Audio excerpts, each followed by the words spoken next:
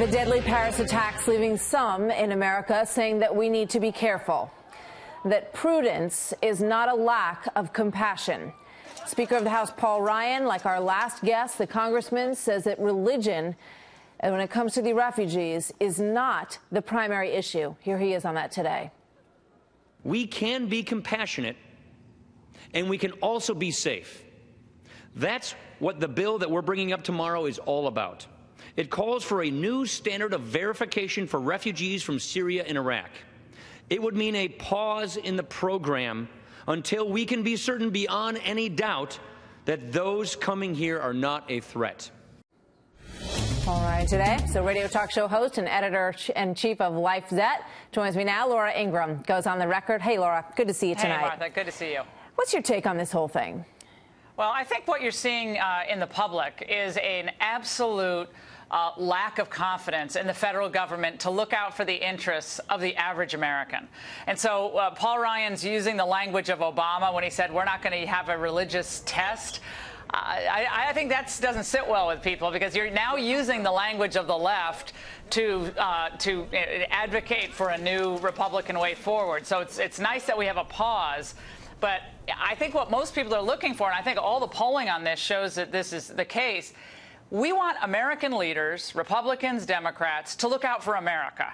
We have to be first compassionate to the American people, the American workers, the American families. And when you have the reports that you just aired on Fox about, about individuals trying to make their way up from Honduras to the United States using fraudulent identification, it reminds us of just how dangerous the situation is, Martha.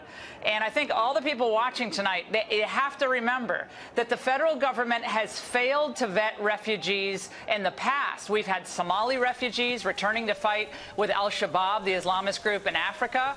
Uh, we've, we've obviously had massive fraud uh, that the Wall Street Journal has written about with uh, refugees using false identification to get family members in. So I think a pause, absolutely. Nobody's talking about a religious test. We're talking about a test of leadership for the American people to finally see their leaders, both Obama and the Republicans, standing up first and foremost for the American people. That is their sacred obligation.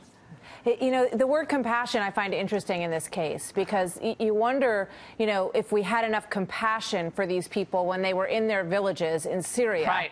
Hundreds of thousands of them. Um, and, you know, the red line was crossed and, and we didn't go in. And people were, you know, John McCain and Lindsey Graham were screaming from the rafters that something needed to be done to help these people. And I don't remember the president talking about that we needed to be compassionate towards them at that point. But now that that whole thing has blown up for these people and they're trying to make their way to other countries. Now it's incumbent upon us, and especially Republicans and conservatives, right. you better be compassionate now, Laura.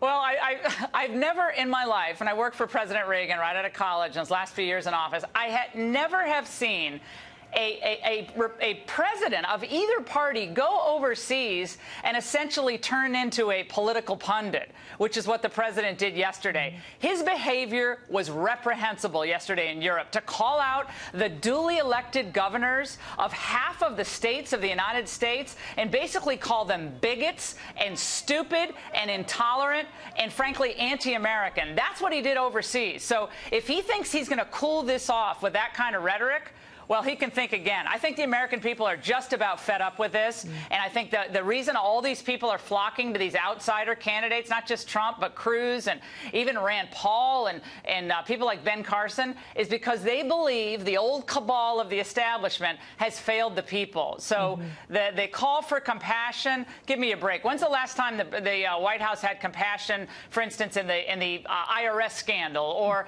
compassion for what's happened to the American workers who've, been, who've seen a marketplace flooded uh, with illegal immigrant labor and, and, and, fraudulent push for, for STEM workers. I don't see a lot of compassion for what's happened to the American worker in the last eight years. Well, with all the fights there are out there right now, that seems to be the one the president wants the most. Uh, we'll see how it goes. Laura, great to see you. Thanks Thank for being you, here tonight.